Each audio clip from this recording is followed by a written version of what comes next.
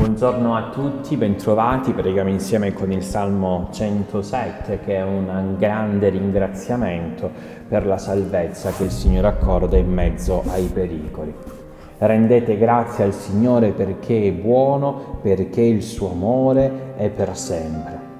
In mezzo a tutta la storia, in mezzo alle angustie, alle strade insicure, ai deserti mm, e, e, strade perdute, dove non si trovano città in cui abitare, in realtà vi è un'unica grande certezza, l'amore del Signore è per sempre.